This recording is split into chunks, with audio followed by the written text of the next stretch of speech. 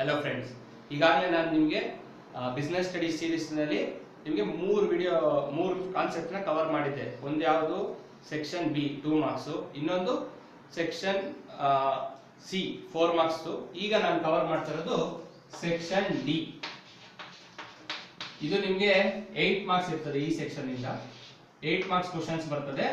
Total ನೀವು attend ಮಾಡಬೇಕಾಗಿರೋದು ಮೂರು question three into eight is equal to twenty four marks ಈ ಸೆಕ್ಷನ್ ಅಲ್ಲಿ ನಿಮಗೆ ಟ್ವೆಂಟಿ ಫೋರ್ ಮಾರ್ಕ್ಸ್ ಕವರೇಜ್ ಆಗ್ತದೆ.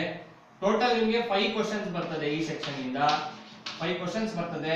ಅದ್ರಲ್ಲಿ ನೀವು ಮೂರು ನಿಮ್ಗೆ ಯಾವುದು ತುಂಬಾ ಕಂಫರ್ಟಬಲ್ ಅನ್ಸಿರುತ್ತೋ ಅಥವಾ ತುಂಬಾ ನಾಲೆಜ್ ಇರ್ತದೋ ಅದನ್ನ ಚೂಸ್ ಮಾಡಿ ನೀವು ಟ್ವೆಂಟಿ ಫೋರ್ ಮಾರ್ಕ್ಸ್ನ ಗಳಿಸ್ಕೋಬಹುದು ಇದರಲ್ಲಿ ಯಾವ್ದಾವ್ದು ಇಂಪಾರ್ಟೆಂಟ್ ಕ್ವಶನ್ಸ್ ಬರ್ತವೆ ಅಂದ್ರೆ ಈಗ ನಾನು ಒಂದೊಂದೇ ಹೇಳ್ತಾ ಹೋಗ್ತೀನಿ. ಮೊದಲನೇ ಕ್ವಶನ್ ಬಂದು ನಿಮಗೆ ನಾನು ನಿನ್ನೆ ಪ್ರೀವಿಯಸ್ ಕ್ಲಾಸ್ ಕೂಡ ಹೇಳಿದ್ದೆ. ಈ ಕ್ವಶನ್ ನಾನು ಬರ್ದಿದ್ದೆ ಕೂಡ ಪ್ರೀವಿಯಸ್ ಅಲ್ಲಿ. ಅದನ್ನೇ ಈ ಕ್ಲಾಸ್ ಅಲ್ಲಿ ನಾನು ಎಕ್ಸ್ಪ್ಲೈನ್ ಮಾಡ್ತೀನಿ. Characteristics of characteristics of management ಈ ಕ್ವಶನ್ ಕೂಡ ತುಂಬಾ ರಿಪೀಟೆಡ್ ಆಗಿ ಬಂದಿದೆ. ಹಾಗಾಗಿ ಇದ್ರ ಮೇಲೆ ಸ್ವಲ್ಪ ಕಾನ್ಸಂಟ್ರೇಟ್ ಮಾಡಿ. ತುಂಬಾ ರಿಪೀಟೆಡ್ ಆಗಿ ಬಂದಿದೆ. ಮಾಡೆಲ್ ಪೇಪರ್ ಅಲ್ಲಿ ಬಂದಿದೆ. ಮತ್ತೆ ಅದ್ರ ಪ್ರೀವಿಯಸ್ ಸಿಲೆಬಸ್ ಚೇಂಜ್ ಆಗೋಕ್ಕಿಂತ ಮುಂಚೆ ಪ್ರೀವಿಯಸ್ ಇಯರ್ ಪೇಪರ್ಸ್ ಯಾವ್ದು ಇದೆಯೋ ಅದರಲ್ಲಿ ಕೂಡ ಇದು ನಿಮಗೆ ಫೋರ್ ಮಾರ್ಕ್ಸ್ ಅಲ್ಲೂ ಬಂದಿದೆ. ಮತ್ತೆ ಇದು eight marks question eight marks section ಅಲ್ಲಿ ಕೂಡ ಬಂದಿದೆ. ಹಾಗಾಗಿ ಈ ಕ್ವಶನ್ ನಮಗೆ ಮೋಸ್ಟ್ ಪ್ರಾಬಬಲ್ ಕ್ವಶನ್ ಕ್ಯಾರೆಕ್ಟರಿಸ್ಟಿಕ್ಸ್ ಏನೇನು ಬರ್ತದೆ ಸರ್ ನೀವು ಕೂಡ ನೋಟ್ಸ್ ನೋಡ್ತಾ ಇರ್ತೀರಾ ಅಥವಾ ಟೆಕ್ಸ್ಟ್ ಬುಕ್ಗಳು ನೋಡ್ತಾ ಇರ್ತೀರಾ? ಫಸ್ಟ್ ಕ್ಯಾರೆಕ್ಟರಿಸ್ಟಿಕ್ ಬಂದು ನಮಗೆ it is a goal oriented it ಅಂತ ನಾನು ಬರೀತಾ ಇದ್ದೀನಿ ಬಟ್ ಆಕ್ಚುಲಿ ಇಟ್ ಅಂದ್ರೆ ಮೀನಿಂಗ್ ಇಲ್ಲಿ management management is a goal oriented ಅಲ್ವಾ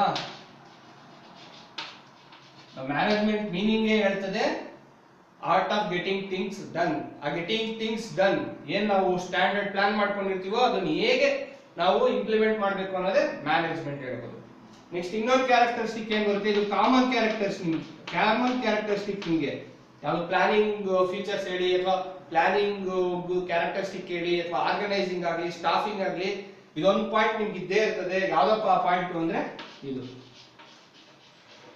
ಇಲ್ಲಿ ಮ್ಯಾನೇಜ್ಮೆಂಟ್ ಅಂತ ಬರ್ತಾ ಇದ್ದೀನಿ. ಪ್ಲಾನಿಂಗ್ ಅಂತ ಬಂದಾಗ ನೀವು ಪ್ಲಾನಿಂಗ್ ಅಂತ ಬರೆದು ಇದನ್ನ ಬರೀಬೇಕು. ನಿಮ್ಗೆ ಏನು ಹೊಳಿಲಿಲ್ಲ ಅಂದ್ರೆ ಆ- ರಿಲೇಟಿವ್ ಇದರಲ್ಲಿ ಯೂನಿವರ್ಸಲ್ ಅಂತ ಒಂದು ಕ್ಯಾರೆಕ್ಟರ್ ಬರ್ತದೆ. ಯೂನಿವರ್ಸಲ್ ಅಂದ್ರೇನು ಮ್ಯಾನೇಜ್ಮೆಂಟ್ ನಮಗೆ ಎಲ್ಲ ಫೀಲ್ಡ್ಗೂ ಬೇಕು. ನೀವು ಪ್ರೊಡಕ್ಷನ್ ಹೋದ್ರು ಪ್ರೊಡಕ್ಷನ್ ಮ್ಯಾನೇಜರ್ ಇರ್ತಾರೆ, ಮತ್ತೆ ಮಾರ್ಕೆಟಿಂಗ್ ಹೋದ್ರೆ ಮಾರ್ಕೆಟಿಂಗ್ ಮ್ಯಾನೇಜ್ಮೆಂಟ್ ಇರ್ತದೆ ಪ್ರಮೋಷನ್ ಹೋದ್ರೆ ಪ್ರಮೋಷನ್ ಮಾರ್ಕೆಟಿಂಗ್ ಮ್ಯಾನೇಜ್ಮೆಂಟ್ ಇದೆ, ಮತ್ತೆ ಆರ್ಗನೈಸಿಂಗ್ ಹೋದ್ರು ಅಲ್ಲೂ ಮ್ಯಾನೇಜ್ಮೆಂಟ್ ಬರ್ತದೆ. ಹಾಗಾಗಿ ಎಲ್ಲ ಯೂನಿವರ್ಸಲ್ ಯೂನಿವರ್ಸಲ್ ಅಂದ್ರೆ ಏನು? ಎಲ್ಲ ಕಡೆ ಅಪ್ಲೈ ಆಗ್ತದೆ ಅಂತ ಅರ್ಥ ಬರ್ತದೆ. ಇನ್ನೊಂದು ಪಾಯಿಂಟ್ ಇದು ಕೂಡ ಸೇಮ್ ನಿಮಗೆ. ನಿಮ್ಗೆ ಯಾವುದೇ ಕಾನ್ಸೆಪ್ಟ್ ಅಲ್ಲಿ ಯಾವುದೇ ಕ್ಯಾರೆಕ್ಟರಿಸ್ಟಿಕ್ಸ್ ನೆನಪಾಗಿಲ್ಲ ಅಂದ್ರೆ ಇದೊಂದು ಪಾಯಿಂಟ್ ನೀವು ಆಡ್ ಮಾಡ್ಕೋಬಹುದು continuous process it is a continuous process ನಿಮಗೆ ಫೋರ್ ಮಾರ್ಕ್ಸ್ ಕೇಳಿದಾಗ ನಾನು ಹೇಳಿದ್ದೆ ಫೋರ್ ಅಥವಾ ಫೈವ್ ಪಾಯಿಂಟ್ಸ್ ಬರೀಬೇಕು ಅಂತ.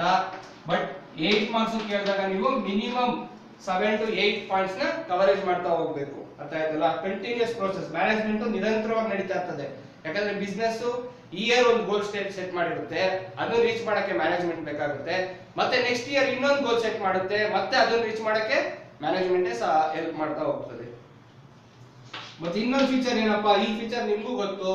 Management is a management is a group or team activity group or team activity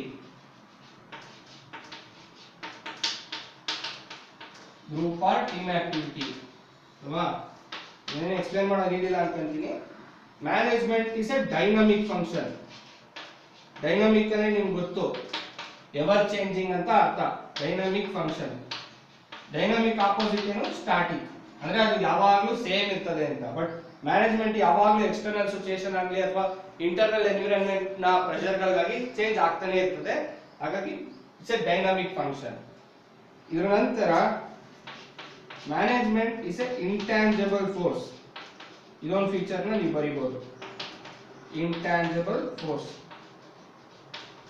ಇಷ್ಟು ಪಾಯಿಂಟ್ಸ್ ಬರೋದ್ರೆ ಸಾಕು ನಿಮಗೆ. ಇಷ್ಟು ಪಾಯಿಂಟ್ಸ್ ಬರೆದು ನೀವು ಎಕ್ಸ್ಪ್ಲೈನ್ ಮಾಡಿ.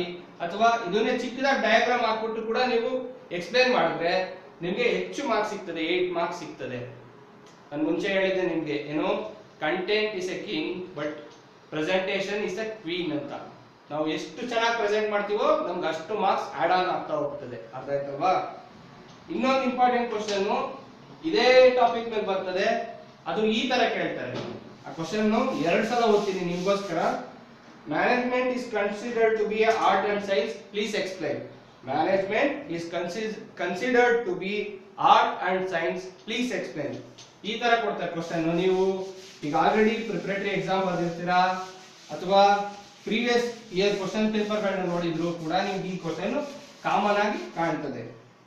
ಅದು ಕೂಡ ನೀವು ಯಾವ ತರ ಮಾಡಬೇಕು ಅಂದ್ರೆ ಸಿಂಪಲ್ ನೀವು ಮೊದಲು ಮೀ ಇದನ್ನ ಒಪ್ಕೊಳ್ತೀರಾ? Yes management is both art and science ಅಂತ ಒಪ್ಕೊಂಡು ಆನಂತರ ನೀವು ಈ ನಾಲ್ಕು ಪಾಯಿಂಟ್ ಬರೀತೀರಾ? ಮ್ಯಾನೇಜ್ಮೆಂಟ್ ಆಸ್ ಎ ಆರ್ಟ್ ಈ ತರ ಹೆಡ್ಡಿಂಗ್ ಬರೆದು ಈ ನಾಲ್ಕು ಪಾಯಿಂಟ್ ಬರೀತೀರಾ? ಏನ ನಾಲ್ಕು point existence of theoretical knowledge existence of existence of theoretical theoretical knowledge existence of theoretical knowledge ಏನು ನೀವು ಯಾವುದೇ ಆರ್ಟ್ ಆರ್ಟ್ ಇದ್ರಲ್ಲಿ ಹೋಗಿರ್ಬೋದು ನಿಮ್ಗೆ ಎಲ್ಲ ಕಡೆನೂ ನಿಮಗೆ ಪೊಯೆಟ್ರಿ ಆಗಿರ್ಬೋದು ಡ್ಯಾನ್ಸ್ ಫಾರ್ಮ್ ಆಗಿರ್ಬೋದು ಲಿಟ್ರೇಚರ್ ಆಗಿರ್ಬೋದು, ಅದೇ ರೀತಿ ಮ್ಯಾನೇಜ್ಮೆಂಟ್ ಕೂಡ ಲಿಟ್ರೇಚರ್ ಇದೆ. ನೀವು ಹೆಸರುಗಳು ಕೇಳಿರ್ತೀರ ಫಿಲಿಪ್ ಕಾಟ್ಲರ್ ಆಗಿರ್ಬೋದು ಅಥವಾ ಟೇಲರ್ ಆಗಿರ್ಬೋದು ಅಥವಾ ಫಯೋಲ್ ಆಗಿರ್ಬೋದು ಉರ್ಬಿಕ್ ಆಗಿರ್ಬೋದು ಗುಲಿಕ್ ಆಗಿರ್ಬೋದು ಮೇರಿ ಪಾರ್ಕರ್ ಫೊಲಾಟ್ ಆಗಿರ್ಬೋದು, ಇವ್ರ ಬಗ್ಗೆ ಎಲ್ಲ ನೀವು ಫ್ಯೂಚರ್ ಅಲ್ಲಿ ಯಾರು ಮ್ಯಾನೇಜ್ಮೆಂಟ್ ಓದ್ತೀರ ನೋಡಿ, ಅವ್ರು ತುಂಬಾ ತುಂಬಾ ಇವುಗಳ ಬಗ್ಗೆ ತಿಳ್ಕೊಂತೀರಾ ಯಾಕಂದ್ರೆ ಇವ್ರು ಕೂಡ ಮ್ಯಾನೇಜ್ಮೆಂಟ್ ಥಿಂಕರ್ಸ್ ಇಲ್ಲಿ ಲಿಟ್ರೇಚರ್ ಬರೆಯೋರ್ನ ನಾವು ಪೊಯೆಟ್ ಅಥವಾ ಆಥರ್ ಅಂತೀವಿ ಅದೇ ರೀತಿ ಇಲ್ಲಿ ಥಿಂಕರ್ ಅಂತೀವಿ ಹಾಗಾಗಿ ಮ್ಯಾನೇಜ್ಮೆಂಟ್ ಇಸ್ ಅನ್ ಆರ್ಟ್ ಅನ್ನೋದಕ್ಕೆ ಇದೊಂದು ಕನ್ಕ್ಲೂಸಿವ್ ಎವಿಡೆನ್ಸ್ ಎರಡನೇ ಪಾಯಿಂಟ್ ಏನ್ ಬರೀಬೇಕು ಅಂದ್ರೆ ಪರ್ಸನಲೈಸ್ಡ್ ಅಪ್ಲಿಕೇಶನ್ ಪರ್ಸನಲೈಸ್ಡ್ ಅಪ್ಲಿಕೇಶನ್ ನೀವು ಯಾವುದೇ ನೋವೆಲ್ ಓದಿರ್ಬೋದು ಅಥವಾ ಯಾವುದೇ ರೀತಿಯ ಲಿಟ್ರೇಚರ್ ಕಂಟೆಂಟ್ ಓದಿದ್ರು ಕೂಡ ಅದು ಒಬ್ಬ ಆತರ್ನ ಎಕ್ಸ್ಪೀರಿಯನ್ಸ್ ಇಂದ ಬಂದಿರ್ತದೆ. ಅದೇ ರೀತಿ ಹೆನ್ರಿ ಫೈವರ್ ಆಗಿರ್ಬೋದು ಎಫ್ ಡಬ್ಲ್ಯೂ ಟೈಲರ್ ಆಗಿರ್ಬೋದು, ಅವ್ರು ಮಾಡೋ ಬಿಸ್ನೆಸ್ ಅಲ್ಲಿ ಪ್ರೊಡಕ್ಷನ್ ಹೇಗೆ ಎನ್ಹಾನ್ಸ್ ಮಾಡಬೇಕು ಅಂತ ತುಂಬಾ ಅವರು ಅಬ್ಸರ್ವೇಷನ್ ಮಾಡಿ ಎಕ್ಸ್ಪೆರಿಮೆಂಟ್ಗಳು ಮಾಡಿ ಪುಸ್ತಕಗಳನ್ನ ಬರೆದಿರ್ತಾರೆ. ಅದೇ ಈ ಪಾಯಿಂಟ್ ಎಕ್ಸ್ಪ್ಲೈನ್ ಮಾಡ್ತದೆ. ಮೂರನೇ ಪಾಯಿಂಟ್ ಏನ್ ಬರೀತೀರಾ ಅಂದ್ರೆ it's based on practice and creativity practice and practice and creativity. Creativity. ನಿಮ್ಗೆ ಆಲ್ರೆಡಿ ಗೊತ್ತು ಎನಿ ಆರ್ಟ್ ಫಾರ್ಮ್ ಆಗಿರ್ಬೋದು ಡ್ಯಾನ್ಸ್ ಆಗಿರ್ಬೋದು, ಅಥವಾ ಏನೋ ಒಂದು ಆಕ್ಟಿಂಗ್ ಆಗಿರ್ಬೋದು ಡ್ರಾಮಾ ಆಗಿರ್ಬೋದು, ಅಥವಾ ಮ್ಯೂಸಿಕ್ ಆಗಿರ್ಬೋದು, ಇದೆಲ್ಲವೂ ಕ್ರಿಯೇಟಿವಿಟಿಗೆ ಸಂಬಂಧಪಟ್ಟಂಥದ್ದು. ಮ್ಯಾನೇಜ್ಮೆಂಟ್ ಕೂಡ ಅದೇ ರೀತಿ, ನಾನು ಈಗ ಆಲ್ರೆಡಿ ಎಕ್ಸ್ಪ್ಲೈನ್ ಮಾಡಿದೆ ಕೆಲವು ಆಥರ್ಸ್ ಹೆಸರು ಹೇಳಿ ಅವರು ಕೂಡ ಕ್ರಿಯೇಟಿವ್ ಆಗಿ ಹೇಗೆ ಪ್ರಾಬ್ಲಮ್ಸ್ ಏನೇನು ಎದುರಾಗ್ಬೋದು, ಒಂದು ಆರ್ಗನೈಸೇಷನ್ ರನ್ ಮಾಡ್ಬೇಕಾದ್ರೆ ಅನ್ನೋದಕ್ಕೆ ಕ್ರಿಯೇಟಿವ್ ಆಗಿ ಸೊಲ್ಯೂಷನ್ಸ್ನ ಹುಡುಕಿರ್ತಾರೆ. ಹಾಗಾಗಿ management is a creative and practice activity ಅನ್ನೋದನ್ನ ನೀವು ಬರೀಬೇಕು. ಇದ್ರ ನಂತರ ಮಾಮೂಲಿ ಕ್ಯಾರೆಕ್ಟರಿಸ್ಟಿಕ್ಸ್ ಅಲ್ಲಿ ಒಂದು ಪಾಯಿಂಟ್ ಬಂದಿದೆ ಗೋಲ್ ಓರಿಯೆಂಟೆಡ್ ಅಂತ. ನೀವು ಅದೇ ಪಾಯಿಂಟ್ ಇಲ್ಲಿ ಬರೀಬಹುದು management is a goal oriented ಇದು management as a art but ನಮ್ದು ಈಗ ಅರ್ಧ ಉತ್ತರ ಸಿಕ್ತು ನಮಗೆ. ಎಷ್ಟು ಏಟ್ ಮಾರ್ಕ್ ಅಲ್ಲಿ ಫೋರ್ ಮಾರ್ಕ್ಸ್ ನಮಗೆ ಇಲ್ಲಿ ಸಿಕ್ತು. ಈಗ ನೆಕ್ಸ್ಟ್ ನಾವೇನ್ ಮಾಡ್ಬೇಕು ಅಂದ್ರೆ ಮ್ಯಾನೇಜ್ಮೆಂಟ್ ಆಸ್ ಎ ಸೈನ್ಸ್ ಅಂತ ಹೇಳಿ ಇನ್ನೊಂದು ನಾಲ್ಕು ಪಾಯಿಂಟ್ ಬರೀಬೇಕು. ಏನ್ ಸರ್ ನಾಲ್ಕು ಪಾಯಿಂಟು? ಈಗ ಒಂದೊಂದೇ ಬರೀತೀನಿ. ನೀವು ನಾನು ಬರೆದಾಗ ಪಾಸ್ ಮಾಡ್ಕೊಂಡು ಅದನ್ನ ರಫ್ ಆಗಿ ರಫ್ ಅಲ್ಲಿ ಬೇಗ ಕಾಪಿ ಮಾಡ್ಕೋಬೇಕು. Management as a science management as a science management as a science ಏನ್ ಬರ್ತದೆ? As a science it is a systematize body of knowledge systematized body of knowledge. Systematized body of knowledge. ಏನ್ sir systematized body of knowledge ಹೇಗೆ science ನೀವು ನೋಡಿರ್ತೀರಾ science ಅಂದ್ರೆ ಏನು? Which can be verified through the ಏನು? ನಮ್ಮ ಪಂಚೇಂದ್ರಿಯಗಳೇನಿದೆಯಲ್ಲ five senses of organs ಇಂದ. Which can be seen feel touch ಎಲ್ಲ ಮಾಡ್ತೀವಲ್ವಾ? ಅದನ್ನ ಸೈನ್ಸ್ ಅಂತಾರೆ. ಡೆಫಿನೇಷನ್ ಆಫ್ ಸೈನ್ಸ್ ಅದೇ ಬರ್ತದೆ. ಮ್ಯಾನೇಜ್ಮೆಂಟ್ ಕೂಡ ಅದೇ ರೀತಿಲಿ ಡೆವಲಪ್ ಆಗಿರುವಂತ ಕಾನ್ಸೆಪ್ಟ್ ಎರಡನೇದು ಬೇಸ್ಡ್ ಆನ್ ಎಕ್ಸ್ಪೆರಿಮೆಂಟೇಷನ್ ನಾನೀಗ ಪ್ರೀವಿಯಸ್ ಇದರಲ್ಲಿ ಹೇಳಿದೆ. ನೀವೇನು ಥಿಯರಿ ಓದ್ತಾ ಇದ್ದೀರಾ ನೋಡಿ. ಟೇಲರ್ ಕಾನ್ಸೆಪ್ಟ್ ಆಗಿರ್ಬೋದು ಅಥವಾ ಫಯಲ್ ಕಾನ್ಸೆಪ್ಟ್ ಆಗಿರ್ಬೋದು, ಇವೆಲ್ಲವೂ ಕೂಡ ಅವರು ಆಸ್ ಎ ಮ್ಯಾನೇಜರ್ ಆಗಿ ಎಕ್ಸ್ಪೆರಿಮೆಂಟ್ ಮಾಡಿ ಅದರಿಂದ ಏನು ಕನ್ಕ್ಲೂಸಿವ್ ರಿಸಲ್ಟ್ ಬಂದಿದೆಯೋ ಅದನ್ನೇ ಅವರು ಅವ್ರ ವರ್ಕ್ಸ್ನಲ್ಲಿ ಬರೆದಿದ್ದಾರೆ. ಹಾಗಾಗಿ ಬೇಸ್ಡ್ ಆನ್ ಎಕ್ಸ್ಪರಿಮೆಂಟ್ ಆಗ್ತದೆ. ಮೂರನೇ ಪಾಯಿಂಟ್ ಏನ್ ಬರೀತೀರಾ ಅಂದ್ರೆ ಯೂನಿವರ್ಸಲ್ ವ್ಯಾಲಿಡಿಟಿ ಹೇಗೆ ಸೈನ್ಸ್ಗೆ ಯೂನಿವರ್ಸಲ್ ವ್ಯಾಲಿಡಿಟಿ ಇದೆಯೋ ಮ್ಯಾನೇಜ್ಮೆಂಟ್ಗೂ ಕೂಡ ಅದೇ ರೀತಿ ಯೂನಿವರ್ಸಲ್ ವ್ಯಾಲಿಡಿಟಿ ಇದೆ. ನಾಲ್ಕನೇ ಪಾಯಿಂಟ್ ಏನ್ ಬರೀತೀರಾ ಅಂದ್ರೆ ಈ ಪಾಯಿಂಟ್ ಬರೀತೀರಾ. ಕಾಸ್ ಅಂಡ್ ಎಫೆಕ್ಟ್ ರಿಲೇಶನ್ಶಿಪ್ ಹೇಗೆ ಸೈನ್ಸ್ ನಮಗೆ ಕಾಸ್ ಅಂಡ್ ಎಫೆಕ್ಟ್ ರಿಲೇಶನ್ಶಿಪ್ನ ಸ್ಟಡಿ ಮಾಡುತ್ತೋ ಮ್ಯಾನೇಜ್ಮೆಂಟ್ ಕೂಡ ಅದೇ ರೀತಿ ಕಾಸ್ ಅಂಡ್ ಎಫೆಕ್ಟ್ ರಿಲೇಶನ್ಶಿಪ್ನ ಸ್ಟಡಿ ಮಾಡುತ್ತೆ. ಈಗ ಸೈನ್ಸ್ ಅಲ್ಲಿ ನಾವು ಏನ್ ಮಾಡ್ತೀವಿ ಅಂದ್ರೆ, ಈಗ ಮಳೆ ಹೇಗಾಗುತ್ತಪ್ಪ ಅನ್ನೋದು ಕಾಸು ಹೇಗಾಗುತ್ತೆ? ಆವಿಯಾಗಿ ಮೋಡ ಆಗಿ, ಆಮೇಲೆ ಮಳೆ ಆಗುತ್ತೆ. ಅದು ಕಾಸು ಮಳೆ ಆಗೋದು ಎಫೆಕ್ಟ್ ಅದೇ ರೀತಿಲಿ ನಮಗೆ ಸೇಲ್ಸ್ ಜಾಸ್ತಿ ಬರಬೇಕು ಅಂದ್ರೆ ಪ್ರೊಡಕ್ಷನ್ ಎಲ್ಲಿ ಇನ್ಕ್ರೀಸ್ ಮಾಡಬೇಕು ಅನ್ನೋದು ಕಾಸ್ ಆಗುತ್ತೆ. ಸೇಲ್ಸ್ ಯಾವ್ದ್ಮೇಲೆ ಇನ್ಕಮ್ ಹೇಗೆ ಬರುತ್ತೋ ಅದು ಎಫೆಕ್ಟ್ ಆಗುತ್ತೆ. ಅರ್ಥ ಆಯ್ತಲ್ವಾ? ಇದು ಇಷ್ಟು ಪಾಯಿಂಟ್ ಬಂದ್ರೆ ನಿಮ್ಗೆ ಇನ್ನ ನಾಲ್ಕು ಮಾರ್ಕ್ಸ್ ಸಿಗ್ತದೆ. ನಾಲ್ಕು ಪ್ಲಸ್ ನಾಲ್ಕು ಟೋಟಲ್ ಎಂಟು ಮಾರ್ಕ್ಸ್ ಈ ಈ ಕ್ವಶನ್ ನಿಮಗೆ ಸಿಗ್ತದೆ. ಇದನ್ನು ಬಿಟ್ಟು ಇನ್ನೊಂದು ಇಂಪಾರ್ಟೆಂಟ್ ಕ್ವಶನ್ ಬರ್ತದೆ. ಈ ಕ್ವಶನ್ ನಾನು ಫೋರ್ತ್ ಸೆಕ್ಷನ್ ಅಲ್ಲಿ ಕವರ್ ಮಾಡಿದ್ದೆ ಆಲ್ರೆಡಿ ಆದ್ರೂ ನಾನು ಒಂದ್ಸಲ ನಿಮಗೆ ಎಕ್ಸ್ಪ್ಲೈನ್ ಮಾಡಲ್ಲ ಬಟ್ ಏನ್ ಆ ಕ್ವಶನ್ ಅಂತ ಓದಿ ಹೇಳ್ತೀನಿ. ಈ ಕ್ವಶನ್ ಬರ್ತದೆ ನಿಮಗೆ. ಮೂರನೇ ಕ್ವಶನ್ ಈ ಕ್ವಶನ್ ಬರುತ್ತೆ. Difference between advertising advertising and personal ಇದು ನಾನು ಆಲ್ರೆಡಿ ನಿಮಗೆ ಟೂ ಮಾರ್ಕ್ಸ್ ಮಾಡುವಾಗ ಹೇಳಿದ್ದೆ. ಟೂ ಮಾರ್ಕ್ಸ್ ಅಥವಾ ಫೋರ್ ಮಾರ್ಕ್ಸ್ ಮಾಡುವಾಗ ನಿಮ್ಗೆ ಈ ಕ್ವಶನ್ ನಾನು ಹೇಳಿದ್ದೀನಿ. ಅದಕ್ಕೆ ಇನ್ನ ಎಕ್ಸ್ಟ್ರಾ ನೀವು ಮೂರು ಅಥವಾ ಎರಡು ಪಾಯಿಂಟ್ ಸೇರಿಸಿದ್ರೆ ನಿಮಗೆ ಎಂಟು ಮಾರ್ಕ್ಸ್ ಸಿಕ್ಬಿಡ್ತದೆ. ನೋಟ್ಸ್ ಕೊಟ್ಟಿರ್ತಾರೆ ಒಂದ್ಸಲ ಓದ್ಕೊಳ್ಳಿ. ಇದಾದ್ಮೇಲೆ ಈ ಕ್ವಶನ್ ಕೂಡ ನಾನು ಅಲ್ಲಿ ಎಕ್ಸ್ಪ್ಲೇನ್ ಮಾಡಿದ್ದೆ. ಏನು? Merits and demerits of advertising merits and demerits of advertising ಅಥವಾ pros and cons of advertising ಅಂತ ಕೂಡ ಕೇಳಿದ್ದಾರೆ. ಎರಡು ಸೇಮೇ ನಿಮ್ಮ ವರ್ಡಿಂಗ್ಸ್ ಚೇಂಜ್ ಆಗಿರುತ್ತೆ ಅಷ್ಟೇ.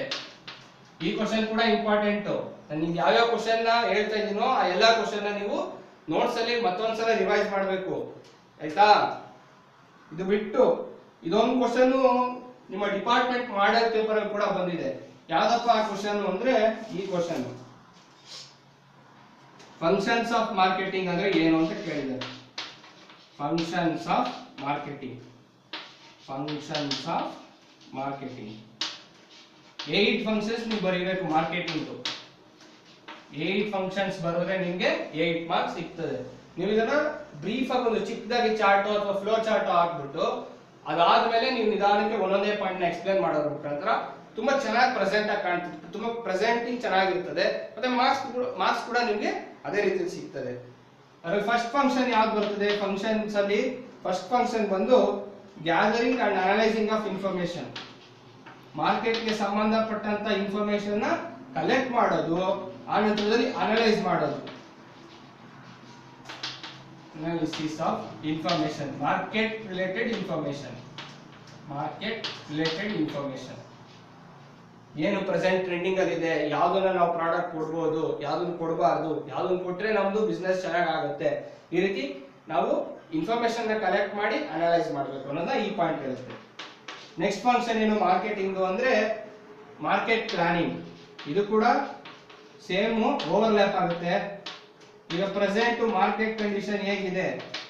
ಯಾವ್ದಾದ್ರು ಹೊಸ ಪ್ರಾಡಕ್ಟ್ ಇಂಟ್ರೊಡ್ಯೂಸ್ ಮಾಡ್ಬೋದಾ, ಮಾಡಬಾರ್ದಾ ಅನ್ನೋದನ್ನ ಪ್ಲಾನಿಂಗ್ ಈ ಈ ಪಾಯಿಂಟ್ ಹೇಳುತ್ತೆ ಮತ್ತೆ ಮೂರನೇ ಪಾಯಿಂಟ್ ಯಾವ್ದು ಬರುತ್ತೆ ಅಂದ್ರೆ ಪ್ರಾಡಕ್ಟ್ ಡಿಸೈನ್ ಅಂಡ್ ಡೆವಲಪ್ಮೆಂಟ್ ನಮ್ಮ ಪ್ರಾಡಕ್ಟ್ ಯಾವ ತರ ಇರಬೇಕು?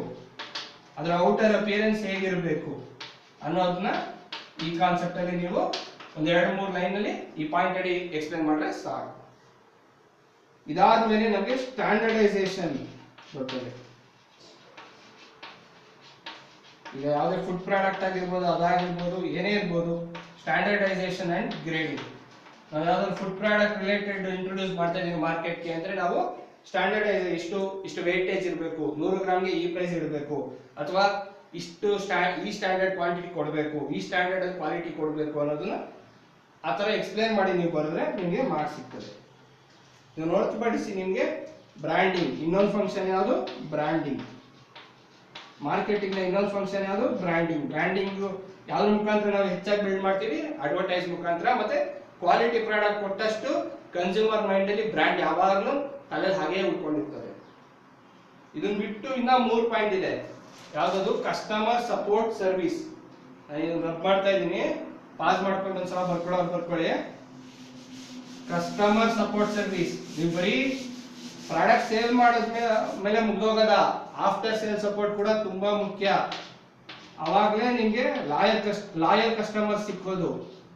Customer support service warranty guarantee ಅಥವಾ ಅವ್ರಿಗೆ ಏನು ಡೌಟ್ಸ್ ಇರುತ್ತೋ ಅದು ಕ್ಲಾರಿಫೈ ಮಾಡಕ್ಕೆ ರಿಪ್ಲೈ ಎಲ್ಲ ಕೊಟ್ಟಿರ್ತಾರೆ ನೋಡಿ. ಅದು ಈ ಪಾಯಿಂಟ್ ಕವರೇಜ್ ಆಗ್ತದೆ. ಮತ್ತೆ ಈ ಪಾಯಿಂಟ್ ಬಂದು ಬರ್ತದೆ ಪ್ರಮೋಷನ್ ಲಾಸ್ಟ್ ಫಂಕ್ಷನ್ ಬಂದು ಪ್ರಮೋಷನ್ ಇಷ್ಟು ಪಾಯಿಂಟ್ ಬರೆದ್ರೆ ನಿಮಗೆ ಎಂಟು ಮಾರ್ಕ್ಸ್ ಸಿಗ್ತದೆ. ಬರೀ ಬರೆಯೋದ್ ಮುಖಾಂತರ ಅಲ್ಲ, ಚಿಕ್ಕದಾಗಿ ಬ್ರೀಫ್ ಆಗಿ ಒಂದು ಚಾರ್ಟ್ ಹಾಕಿ, ಚಿಕ್ಕದಾಗಿ ಹಾಕಿ, ಅದು ಒಂದು ಮೂರು ಅಥವಾ ಎಷ್ಟಾಗ್ತದೋ ಅಷ್ಟು ಚಿಕ್ಕದಾಗಿ ಒಂದು ಚಾರ್ಟ್ ಹಾಕ್ಬಿಟ್ಟು ನೀವು ನೀಟಾಗಿ ಎಕ್ಸ್ಪ್ಲೈನ್ ಮಾಡ್ಕೊಂಡು ಹೋಗ್ತಾ ಇರಬೇಕು. ಇದಾದ್ಮೇಲೆ ಇನ್ನೊಂದು ಇಂಪಾರ್ಟೆಂಟ್ ಕ್ವಶನ್ ಯಾವ್ದಪ್ಪ ಅಂದ್ರೆ ಕೋಆರ್ಡಿನೇಷನ್ ಬರ್ತದೆ ನೋಡಿ ಕೋಆರ್ಡಿನೇಷನ್ ಅದ್ರ ಕ್ಯಾರೆಕ್ಟರಿಸ್ಟಿಕ್ಸ್ ಕೇಳ್ತಾರೆ ಕ್ಯಾರೆಕ್ಟರಿಸ್ಟಿಕ್ಸ್ ಆಫ್ ಕೋಆರ್ಡಿನೇಷನ್ ಕೇಳ್ತಾರೆ characteristics of coordination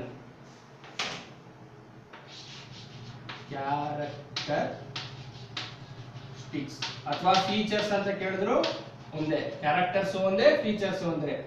characteristics of coordination ನಾನು ಕೋಆರ್ಡಿನೇಷನ್ ಮೀನಿಂಗ್ನ ಟೂ ಮಾರ್ಕ್ಸ್ ಕ್ವಶನ್ ಅಲ್ಲಿ ಎಕ್ಸ್ಪ್ಲೇನ್ ಮಾಡಿದ್ದೆ. ಅದು ಕ್ಯಾರೆಕ್ಟರಿಸ್ಟಿಕ್ಸ್ ಯಾವ್ದೇನಪ್ಪ ಬರುತ್ತೆ ಅಂದ್ರೆ ಇಂಟಿಗ್ರೇಟ್ಸ್ ಗ್ರೂಪ್ ಎಫರ್ಟ್ ಇಂಟಿಗ್ರೇಟ್ ಅಂತ ನಾವು ಬರಿಬೋದು ನೀವು ಅಥವಾ ಯೂನಿಫೈಸ್ ಗ್ರೂಪ್ ಎಫರ್ಟ್ಸ್ ಅಂತ ಕೂಡ ಬರಿಬೋದು. Integrates group effort group effort ಇದನ್ನು ಹೊರತುಪಡಿಸಿ ಇನ್ನೊಂದು ಪಾಯಿಂಟ್ ಬರುತ್ತೆ ಯೂನಿಟಿ ಆಫ್ ಆಕ್ಷನ್ ಕೋಆರ್ಡಿನೇಷನ್ ಅನ್ನೋದೇ ಹೇಳುತ್ತೆ ಇಟ್ಸ್ ಎ ಗ್ರೂಪ್ ಆಕ್ಟಿವಿಟಿ ಅಂತ. ಯೂನಿಟಿ ಆಫ್ ಆಕ್ಷನ್ ಎಲ್ಲರೂ ಸೇರಿ ಕೆಲಸ ಮಾಡೋದ್ರಿಂದ ನಮ್ಮ ರಿಸಲ್ಟ್ನ ಇನ್ನೂ ಬೇಗ ರೀಚ್ ಆಗ್ಬೋದು. ಮತ್ತೆ ಯೂನ್ ನಾನು ಈ ಪಾಯಿಂಟ್ನ ನಿಮ್ಗೆ ಹೇಳಿದೆ ಕಾಮನ್ ಪಾಯಿಂಟ್ ಇದು. ಯಾವುದೇ ಕೇಳಿದ್ರು ನಿಮ್ಗೆ ಅಲ್ಲಿ ಪಾಯಿಂಟ್ ನೆನಪಾಗಿಲ್ಲ ಅಂದ್ರೆ ಈ ಎರಡು ಪಾಯಿಂಟ್ನ ನೀವು ಬರ್ಕೋಬಹುದು ಯಾವುದು? ಕಂಟಿನ್ಯೂಸ್ ಪ್ರೋಸೆಸ್ ಅಂದ್ಬಿಟ್ಟು ಒಂದೆರಡು ಲೈನ್ ಎಕ್ಸ್ಪ್ಲೇನ್ ಮಾಡಬಹುದು ಯೂನಿವರ್ಸಲ್ ಪ್ರೋಸೆಸ್ ಅಂತಾನು ಬರೆದು ಯಾವುದೇ ಕ್ಯಾರೆಕ್ಟರಿಸ್ಟಿಕ್ ಕೇಳಿ ಸ್ಟಾಫಿಂಗ್ ಆಗಿರ್ಬೋದು ಡೈರೆಕ್ಟಿಂಗ್ ಆಗಿರ್ಬೋದು ಕಂಟ್ರೋಲಿಂಗ್ ಆಗಿರ್ಬೋದು ಕೋಆರ್ಡಿನೇಷನ್ ಆಗಿರ್ಬೋದು, ಈ ಎರಡು ಪಾಯಿಂಟ್ ಮಾತ್ರ ಕಾಮನ್ ನೀವು ಟೆಕ್ಸ್ಟ್ ಬುಕ್ ಅಲ್ಲಿ ಕೂಡ ನೋಡಿರ್ತೀರಾ. ಯೂನಿವರ್ಸಲ್ ಪ್ರೋಸೆಸ್ ಇದರ ನಂತರ ರೆಸ್ಪಾನ್ಸಿಬಿಲಿಟಿ ಆಫ್ ಅ ಮ್ಯಾನೇಜರ್ ಅಥವಾ ಡೆಲಿಬರೇಟ್ ಫಂಕ್ಷನ್ ಅಂತ ಇನ್ನೊಂದು ಪಾಯಿಂಟ್ ಬರೆದ್ರೆ ನಿಮಗೆ ಅಲ್ಲಿ ಈ ಕ್ವಶನ್ ನಿಮಗೆ ಫೋರ್ ಮಾರ್ಕ್ಸ್ ಅಲ್ಲಿ ಕೂಡ ಕೇಳಿದ್ದಾರೆ, ಮತ್ತೆ ಏಟ್ ಮಾರ್ಕ್ಸ್ ಅಲ್ಲಿ ಕೂಡ ಕೇಳಿದ್ದಾರೆ. ಇನ್ನೊಂದು ಇಂಪಾರ್ಟೆಂಟ್ ಕ್ವಶನ್ ಯಾವ್ದಪ್ಪ ಬರ್ಬೋದು ಅಂದ್ರೆ common barriers to communication common barrier to communication ಇದು ನೋಡ್ಕೊಂಡ್ರಲ್ವಾ ನಾನು ರಬ್ ಮಾಡ್ತಾ ಇದ್ದೀನಿ ನೆಕ್ಸ್ಟ್ ಕ್ವಶನ್ ಹೋಗ್ತಾ ಇದ್ದೀನಿ ನಾನೀಗ. ಕಾಮನ್ ಬ್ಯಾರಿಯರ್ಸ್ ಟು ಕಮ್ಯುನಿಕೇಶನ್ ನೀವು ಬ್ಯಾರಿಯರ್ಸ್ ಟು ಕಮ್ಯುನಿಕೇಶನ್ ಹೋದಾಗ ಚಿಕ್ಕದಾಗಿ ನೀವು ಚಾರ್ಟ್ ಹಾಕಿ, ನಾನು ಚಾರ್ಟ್ ಹಾಕ್ಬಿಟ್ಟೆ ನಿಮ್ಗೆ ಎಕ್ಸ್ಪ್ಲೈನ್ ಮಾಡ್ತೀನಿ ಇವಾಗ. ಈ ತರದ್ ಒಂದು ಚಾರ್ಟ್ ಹಾಕೊಳ್ಳಿ ಬ್ಯಾರಿಯರ್ಸ್ ಇಸ್ ನಥಿಂಗ್ ಬಟ್ ಅಡೆತಡೆಗಳು ಅಥವಾ ಅಬ್ಸ್ಟಾಕಲ್ಸ್ ಬ್ಯಾರಿಯರ್ಸ್ ಟು ಕಮ್ಯುನಿಕೇಶನ್ ಇದರಲ್ಲಿ ನಾಲ್ಕು ತರ ಬ್ಯಾರಿಯರ್ ಬರ್ತದೆ. ಒಂದು ಬಂದು ಸಿಮ್ಯಾಂಟಿಕ್ ಬ್ಯಾರಿಯರ್ ಅಂತ ಕರಿತೀವಿ. ಎರಡರಲ್ಲಿ ಸಿಮ್ಯಾಂಟಿಕ್ ಬ್ಯಾರಿಯರ್ ಸಿಮ್ಯಾಂಟಿಕ್ ಬ್ಯಾರಿಯರ್ ಅಂತ ಬರೆದು ಈ ನಾಲ್ಕು ಬರ್ತದೆ ಅಂಡರ್ ಅಲ್ಲಿ ಒಂದೇನು ಬ್ಯಾಡ್ಲಿ ಎಕ್ಸ್ಪ್ರೆಸ್ ಮೆಸೇಜ್ ಅಂದ್ರೆ ಹೇಳ್ಬೇಕಾಗಿರೋದನ್ನ ಸರಿಯಾಗಿ ಹೇಳಿರಲ್ಲ. ಏನು ಕಮ್ಯುನಿಕೇಟ್ ಮಾಡ್ಬೇಕಾಗಿತ್ತು? ಅದನ್ನ ಸರಿಯಾಗಿ ಕಮ್ಯುನಿಕೇಟ್ ಮಾಡಿರಲ್ಲ ನಾನು ಮೆಸೇಜ್ನ ಶಾರ್ಟ್ ಫಾರ್ಮ್ ಅಲ್ಲಿ ಬರ್ದಿದ್ದೀವಿ. ನೀವು ಆ ರೀತಿ ಬರೆಯೋ ಬರೀಬಾರ್ದು. Next words with different meaning ಕೆಲವು ಪದಗಳಿಗೆ ಸುಮಾರು ಅರ್ಥಗಳಿರ್ತವೆ. ನಮ್ಮ ಕಮ್ಯುನಿಕೇಶನ್ ಅಲ್ಲಿ ಆ ತರ ವರ್ಡ್ಸ್ನ ಬಳಸಿದಾಗ ಕನ್ಫ್ಯೂಷನ್ ಕ್ರಿಯೇಟ್ ಆಗ್ತದೆ. ಹಾಗಾಗಿ ಡಿಫ್ರೆಂಟ್ ಮೀನಿಂಗ್ ಇರೋ ವರ್ಡ್ಸ್ನ ಬಳಸಿದಾಗ ಕೂಡ ಕಮ್ಯುನಿಕೇಶನ್ಗೆ ರಾಂಗ್ ಆಗಿ ಎಫೆಕ್ಟ್ ಆಗುತ್ತೆ. ಅರ್ಥ ಆಯ್ತಾ? ಆಮೇಲೆ ಫಾಲ್ಟಿ ಟ್ರಾನ್ಸ್ಲೇಷನ್ ಇದು ನೀವು ನೋಡಿರ್ತೀರಾ, ರಾಹುಲ್ ಗಾಂಧಿ ಅವರು ಸದರ್ನ್ ಸ್ಟೇಟಸ್ಗೆ ಬಂದು ಭಾಷಣ ಮಾಡುವಾಗ ಫಾಲ್ಟ್ ಆಗಿ ಟ್ರಾನ್ಸ್ಲೇಟ್ ಮಾಡ್ತಾರೆ. ಇಲ್ಲಿನ ಲೋಕಲ್ ಯಾರು ಟ್ರಾನ್ಸ್ಲೇಟರ್ಸ್ ಇರ್ತಾರೆ ನೋಡಿ ಫಾಲ್ಟ್ ಆಗಿ ಟ್ರಾನ್ಸ್ಲೇಟ್ ಮಾಡಿರ್ತಾರೆ. ತಪ್ಪು, ಅವ್ರು ಹೇಳೋದೇ ಒಂದು, ಇವರು ನಮ್ಮ ಭಾಷೆನೇ ನಮ್ಗೆ ಹೇಳೋದೇ ಇನ್ನೊಂದು, ಇದನ್ನೆಲ್ಲ ನೋಡಿ ನಾವು ನಗಾಡಿರ್ತೀವಿ. ಮತ್ತೆ ಟೆಕ್ನಿಕಲ್ ಜಾರ್ಗನ್ಸ್ ಅಂದ್ರೆ ಕೆಲವು ವರ್ಡ್ಸ್ ಇರ್ತವೆ. ಅಂದ್ರೆ ಕಾಮನ್ ಮ್ಯಾನ್ ಬಳಸೋ ವರ್ಡ್ಸ್ ಗಿಂತ ತುಂಬಾ ಡಿಫರೆಂಟ್ ಆಗಿರ್ತದೆ ಆ ಟೆಕ್ನಿಕಲ್ ವರ್ಡ್ಗಳಿರ್ತವೆ ಅವನ್ನ ನಾವು ಅರ್ಥ ಮಾಡ್ಕೊಳ್ಳೋಕೆ ಸ್ಪೆಷಲ್ ನಾಲೆಜ್ ಬೇಕಾಗಿರುತ್ತೆ. ಹಾಗಾಗಿ ನಮ್ಮ ಕಮ್ಯುನಿಕೇಶನ್ ಅಲ್ಲಿ ಈ ವರ್ಡ್ಸ್ ಇದ್ದಷ್ಟು ಅದು ನಮಗೆ ಅಡೆತಡೆ ಕ್ರಿಯೇಟ್ ಮಾಡ್ತದೆ. ಮತ್ತೆ ಇನ್ನೊಂದು ಸೈಕಾಲಜಿಕಲ್ ಬ್ಯಾರಿಯರ್ ಅಂತ ಬರ್ತದೆ. ಸೈಕೋ ಲಾಜಿಕಲ್ ಬ್ಯಾರಿಯರ್ ಇದರಲ್ಲಿ ಯಾವ್ದಾದ್ರು ಬರ್ತದೆ ಬ್ಯಾರಿಯರ್ಸ್ ಅಂದ್ರೆ, ಮತ್ತೆ ಇದು ಸಿಕ್ಸ್ ಮಾರ್ಕ್ಸ್ ಕೂಡ ಕೇಳ್ಬೋದು. ಸಿಕ್ಸ್ ಮಾರ್ಕ್ಸ್ ಕೇಳಿದಾಗ ನಿಮಗೆ ಎರಡು ಬ್ಯಾರಿಯರ್ ಕೊಟ್ಬಿಟ್ಟು ಎಕ್ಸ್ಪ್ಲೇನ್ ಮಾಡಿ ಅಂತ ಕೇಳ್ತಾರೆ. ಬಟ್ ಏಟ್ ಮಾರ್ಕ್ಸ್ ಕೇಳಿದಾಗ ನೀವು ನಾಲ್ಕು ಬ್ಯಾರಿಯರ್ಸ್ ಮೂರ್ ಮೂರು ಅಥವಾ ನಾಲ್ಕು ನಾಲ್ಕು ಪಾಯಿಂಟ್ ಹಾಕಿ ಎಕ್ಸ್ಪ್ಲೇನ್ ಮಾಡ್ತಾ ಹೋಗ್ಬೇಕು. ಇದರಲ್ಲಿ ಯಾವ್ದು ಬರಿಬೇಕು ಅಂದ್ರೆ premature evaluation of message ಅಂದ್ರೆ ಅವ್ರು ಇನ್ನೂ ಮೆಸೇಜ್ ಕಮ್ಯುನಿಕೇಟೇ ಮಾಡಿರಲ್ಲ ನಮ್ಗೆ ಪೂರ್ತಿಯಾಗಿ. ನಾವು ಆಗ್ಲೇ ಅದನ್ನ ಏನೋ ಅರ್ಥ ಮಾಡ್ಕೊಬಿಡೋದು ಅಥವಾ ತಪ್ಪಾಗಿ ಅರ್ಥ ಮಾಡ್ಕೊಳ್ಳೋದನ್ನ ಈ ಪಾಯಿಂಟ್ ಹೇಳುತ್ತೆ. Premature evaluation of message ಮತ್ತೆ ಇದರ ನಂತರ ನಿಮಗೆ ಈ ಪಾಯಿಂಟ್ ಬರಿಬೇಕು. Lack of attention of a receiver.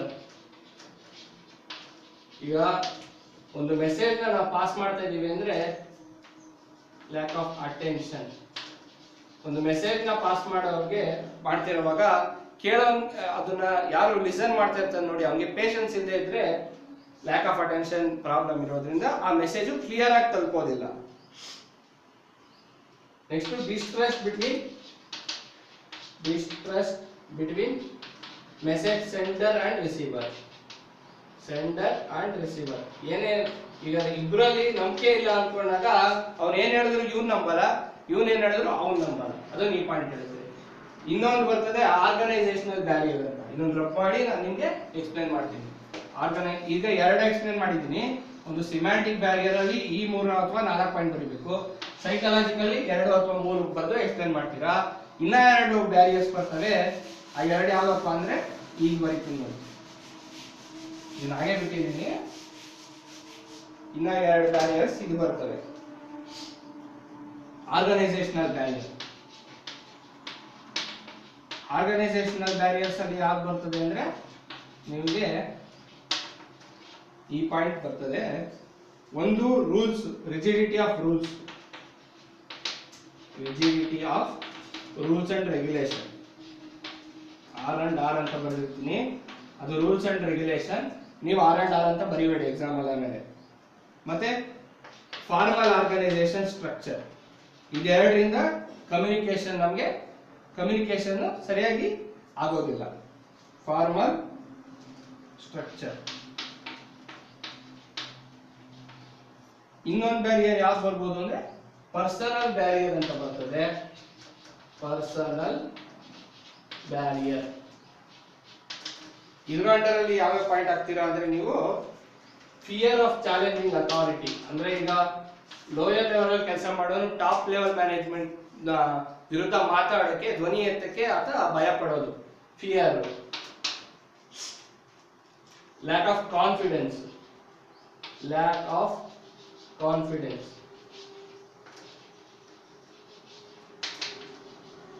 lack of confidence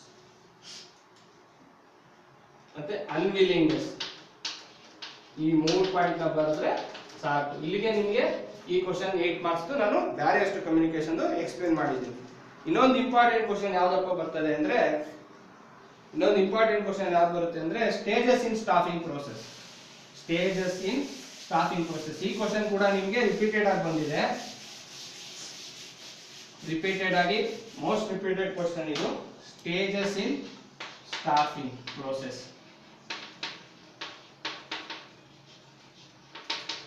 first stage ಏನ್ ಬರ್ಬೋದು? ಫಸ್ಟ್ ಸ್ಟೇಜ್ ಏನ್ ಬರ್ಬೋದು ಅಂದ್ರೆ estimation of man power requirement estimation of man power requirement ನಮ್ಮ ಕಂಪನಿಗೆ ಎಷ್ಟು ಜನ ಎಂಪ್ಲಾಯೀಸ್ ಬೇಕು? ಮತ್ತೆ ಅವ್ರಿಗೆ ಯಾವ್ಯಾವ ತರ ಸ್ಕಿಲ್ಸ್ ಇರಬೇಕು? ನಮ್ಗೆ ಹೆಲ್ಪ್ಫುಲ್ ಆಗ್ತಾರ ಅನ್ನೋದನ್ನ ಮೊದಲೇ ನಾವು ಎಸ್ಟಿಮೇಷನ್ ಮಾಡಿರ್ಬೇಕು. ಅದಾದ್ಮೇಲೆ ರೆಕ್ರೂಟ್ಮೆಂಟ್ ಸೆಕೆಂಡ್ ಸ್ಟೇಜ್ ಬಂದು ರೆಕ್ರೂಟ್ಮೆಂಟ್ ನೋಟಿಸ್ ಹೊರಡಿಸ್ತೀವಿ ಅಡ್ವರ್ಟೈಸ್ಮೆಂಟ್ ಕೊಡ್ತೀವಿ, ಮತ್ತೆ ಇಂಟರ್ವ್ಯೂ ಮಾಡ್ತೀವಿ ಅಥವಾ ಅಸೆಸ್ಮೆಂಟ್ ಟೆಸ್ಟ್ಗಳನ್ನ ಮಾಡಿ ಅವ್ರನ್ನ ಹೈರ್ ಮಾಡ್ಕೊಂತೀವಿ. ಮೂರನೇದು ಸೆಲೆಕ್ಷನ್ ಈಗ ಹೇಳಿದೆ ನಾನು, ನಮಗೆ suitable candidate for suitable job ಅನ್ಸಿದ್ರೆ ಅವನ್ನ ನಾವು ಸೆಲೆಕ್ಟ್ ಮಾಡ್ತೀವಿ. ಅದಾದ್ಮೇಲೆ ಪ್ಲೇಸ್ಮೆಂಟ್ ಅವನ ಸ್ಕಿಲ್ಸ್ ತಕ್ಕಾಗೆ ಸರಿಯಾದ ಡೆಸಿಗ್ನೇಷನ್ ಆತನ ಸ್ಕಿಲ್ಸ್ ಈ ಡೆಸಿಗ್ನೇಷನ್ಗೆ ಸೂಟ್ ಆಗುತ್ತೆ ಅಂದ್ರೆ ಆ ಜಾಗದಲ್ಲಿ ನಾವು ಆತನ ಪ್ಲೇಸ್ ಮಾಡ್ತೀವಿ. ಮತ್ತೆ ಅವ್ರಿಗೆ ಟ್ರೈನಿಂಗ್ ರಿಕ್ವೈರ್ಮೆಂಟ್ಸ್ ಇದ್ರೆ ಟ್ರೈನಿಂಗ್ ರಿಕ್ವೈರ್ಮೆಂಟ್ಸ್ ಇದ್ರೆ ಟ್ರೈನಿಂಗ್ ಕೊಡ್ತೀವಿ. ನೆಕ್ಸ್ಟ್ ಸ್ಟೇಜ್ ಬಂದು training and development next sixth stage of staffing ಏನು ಅಂದ್ರೆ ಪರ್ಫಾರ್ಮೆನ್ಸ್ ಅಪ್ರೈಸಲ್ ಈಗ ನಾವು ಅವನಿಗೆ ಕೆಲಸನೂ ಕೊಟ್ವಿ, ಮತ್ತೆ ಟ್ರೈನಿಂಗ್ ಕೊಟ್ವಿ. ಇದಾದ್ಮೇಲೆ ಕೂಡ ನಮ್ಗೆ ಎಕ್ಸ್ಪೆಕ್ಟೆಡ್ ರಿಸಲ್ಟ್ ಬರ್ತಾ ಇದೆಯಾ ಅವನಿಂದ? ನಾವು ಎಕ್ಸ್ಪೆಕ್ಟ್ ಮಾಡಿರೋ ನ ಅವನು ಫುಲ್ಫಿಲ್ ಮಾಡ್ತಿದ್ದಾನ ಅನ್ನೋದನ್ನ ಎವಾಲ್ಯೂಯೇಟ್ ಮಾಡೋದನ್ನ ಪರ್ಫಾರ್ಮೆನ್ಸ್ ಅಪ್ರೈಸಲ್ ಸ್ಟೇಜ್ ಅಲ್ಲಿ ನೋಡ್ತೀವಿ. ಅದಾದ್ಮೇಲೆ ಕಾಂಪನ್ಸೇಷನ್ ಕಾಂಪನ್ಸೇಷನ್ ಸ್ಯಾಲ್ರಿ ವೇಜಸ್ ಅಥವಾ ಅವ್ನ ಪರ್ಫಾರ್ಮೆನ್ಸ್ ತಕ್ಕಾಗೆ ಬೋನಸ್ ಕೊಡೋದು ಅಥವಾ ಬೈ ಚಾನ್ಸ್ ಅವ್ನಿಗೆ ಏನಾದ್ರು ಇಂಜುರಿ ಆದಾಗ ಕಾಂಪನ್ಸೇಟ್ ಮಾಡೋದನ್ನ ಈ ಪಾಯಿಂಟ್ ಇರ್ತದೆ. ನೀವು ಇಷ್ಟು ಬಂದ್ರೆ ಏಟ್ ಮಾರ್ಕ್ಸ್ ಗ್ಯಾರಂಟಿ ಒಂದು ಚಿಕ್ಕ ಚಾರ್ಟ್ ಹಾಕ್ಬಿಟ್ಟು ಎಕ್ಸ್ಪ್ಲೇನ್ ಮಾಡಿ. ಅಷ್ಟೇ, ಸದ್ಯಕ್ಕೆ ಇಷ್ಟು ಕ್ವಶನ್ಸ್ ಕೊಟ್ಟಿದ್ದೀನಿ. ಮತ್ತೆ ಮುಂದಿನ ವಿಡಿಯೋದಲ್ಲಿ ಉಳಿದ ಇಂಪಾರ್ಟೆಂಟ್ ಕ್ವಶನ್ಸ್ ಕೂಡ ಹೇಳ್ತೀನಿ. Thank you